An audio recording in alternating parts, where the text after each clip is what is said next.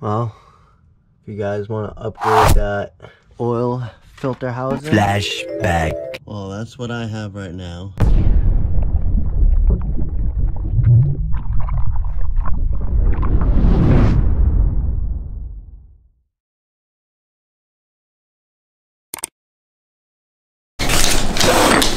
Ooh, this one's heavy. That's one box. And then this big box. Man, oh, those are the, oh, cool.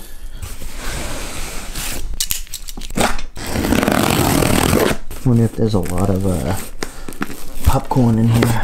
Yep, figures. There's gonna be a lot of popcorn in here. And then we got this piece right here, which I got the one with no cooler. This is the one of the newest upgrades that you can get for the Neon. They sell this kit with three pieces of hardware.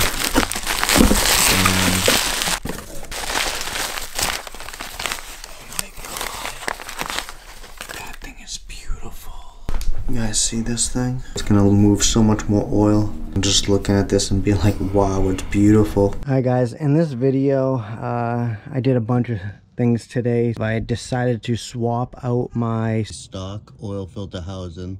And I already deleted the oil cooler a long time ago. I have three gaskets sandwiched together. This pancake to extend it off of the housing and run a big boy oil filter. Now you also have to buy extended bolts, I believe. But what's cool is this kit already comes with those bolts. I changed over to Valvoline VR1. I'm hoping this gives me a change in the puffs of smoke that I've been having. It might have been the oil that I was using. Some other brand that I've never used before. And it's called Delo. It's a heavy duty diesel engine oil. It was my first time ever using it and uh, I'm not sure what I did or it was just the oil being too heavy or having too much i'm not sure but think about subscribing and check out some of my other videos. Today i also did the bnb racing crappy neon brent sharps lower tubular control arms. I was working on two videos. I was also working on the oil cooler. If you guys haven't seen that video yet you're gonna see it soon. So check out that video. Here's your fix. You can go ahead and modify the stock housing so it actually has a better flow or you could just upgrade to something like this. To convert over they're going to be giving you bolts with washers and the CNC machined housing. You're going to have to purchase one of these which is a gasket. It's going to go right there and I believe that pushes it off of the back of the oil pan just enough that you can run a big boy oil filter. Wix XP, you can get them at O'Reilly's or you can go ahead and click the link in the description. You can see there's a little fitting where you can actually put an oil pressure send in unit. There's that piece. Auto meter, 100 PSI, 1 8 to 27th NPTF model number 2242. That way you can monitor your oil pressure. I have one in the back of my block already. And it's right there. But this is the one with no cooler because I don't run an oil cooler. Deleted that along with my power steering, my AC, my big battery, my fuse box, everything you guys. So I'm gonna go ahead and take off the old one and slap on this new CNC one. I actually want to see the difference real quick. See if there's really a difference. Oh yeah, it really is. With the gasket, this is basically how far it extends off of the back of the oil pan. So I like that. I like how light this thing is too. Oh yeah, by the way, make sure you have no oil in the oil pan. I don't. I haven't filled it up yet. So I'm going to loosen these three and take that off.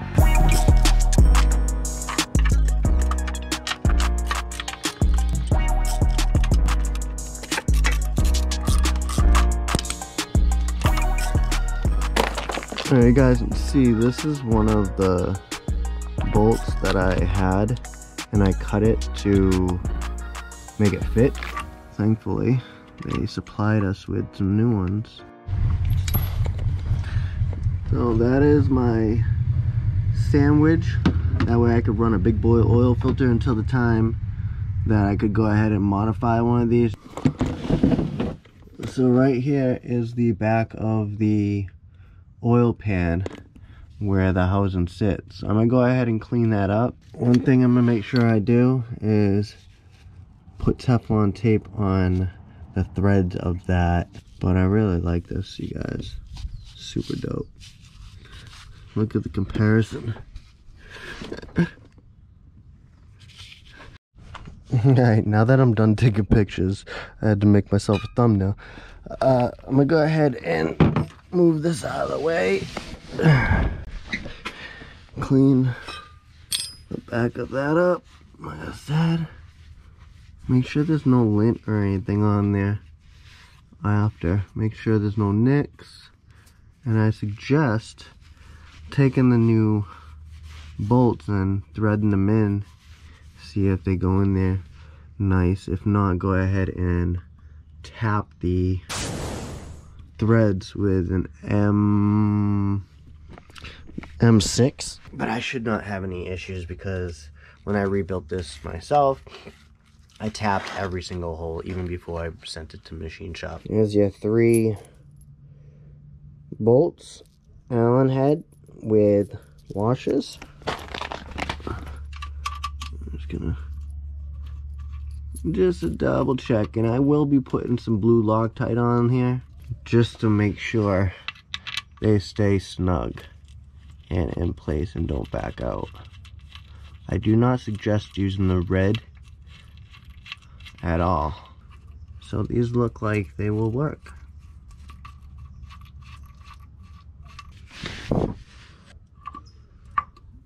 I put my Wix XP51515XP big boy oil filter on there. Oh, and don't forget to go ahead and put some Teflon tape on this little bolt.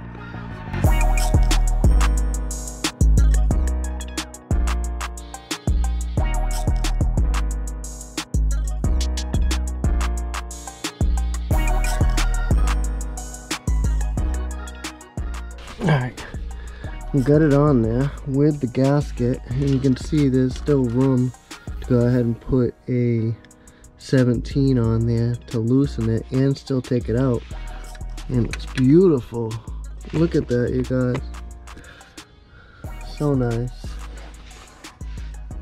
And that is where the oil pressure sending unit will go. Pretty much right up here tucked away. So I'm not sure if that is enough space. My send-in unit is right there on the left side of the drain tube and that drain tube has some condensation so I'm gonna go ahead and tackle that figure out why. Probably replace it if I have to because I have another spare. Right here I went ahead and bought one long I think maybe a foot or something and I cut it so I do have that. If I have to I'll take care of that after this video. I just wanted to show you guys what it looks like with a big boy oil filter. I just gotta go ahead and tighten those down before the Loctite dries. So there you have it you guys. That is the CNC machined oil filter housing. No cooler so I'm gonna go ahead and finish up another video, which you guys probably have seen. If you guys have not, it's the lower tubular control arms from Brent Sharp. Top right of the screen, go check that video out. Like this video, like that video, leave a comment, subscribe if you're not subscribed yet. And until next time, guys, be easy and stay tuned. Peace!